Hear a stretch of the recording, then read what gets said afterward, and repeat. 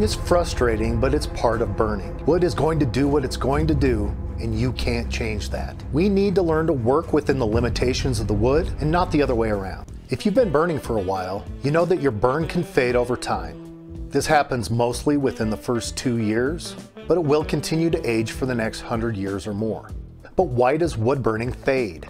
It's because of wood. Wood is a raw organic material, and even though it's dead, it's still constantly changing, and will do so for 100 years or more. If you use a piece of paper or canvas, that's been processed to make it optimal for art. Wood is different. It's not processed to be optimal for burning. When a tree is taken down, it's aged. It's allowed to dry out over time. Once it's dried to the right point, it's then cut up for lumber. When you prep your piece, you're sending it down and showing brand new fibers. Fibers that have not aged. So when you first start burning, that piece of wood is going to be the lightest it's ever going to look.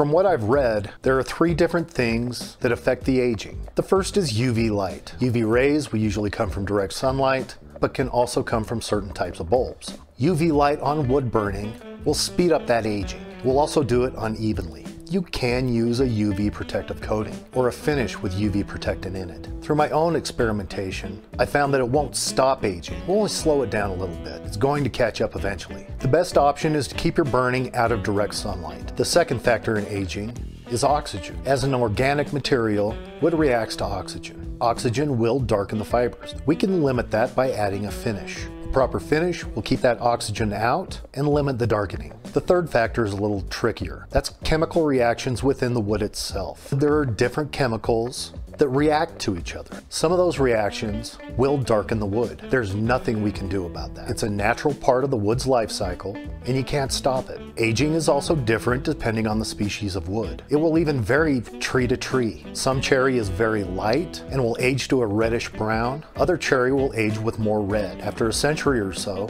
it looks similar to this. Basswood is popular for wood burning, and that does darken moderately over the first two years especially. I found that maple darkens a bit less, but it does age noticeably. You can try to limit it with finishes like spar urethane or others with a UV protectant, but it's better if you just don't leave your wood burning in direct sunlight. I haven't found any way to stop aging.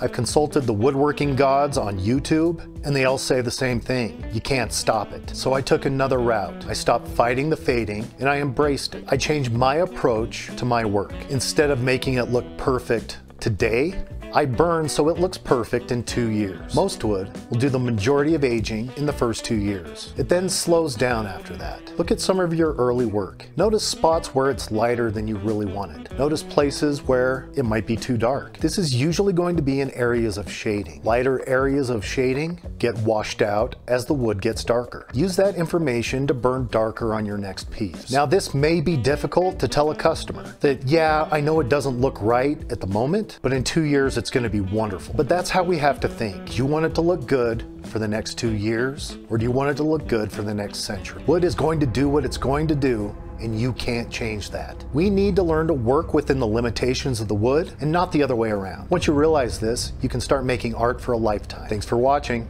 Happy burning.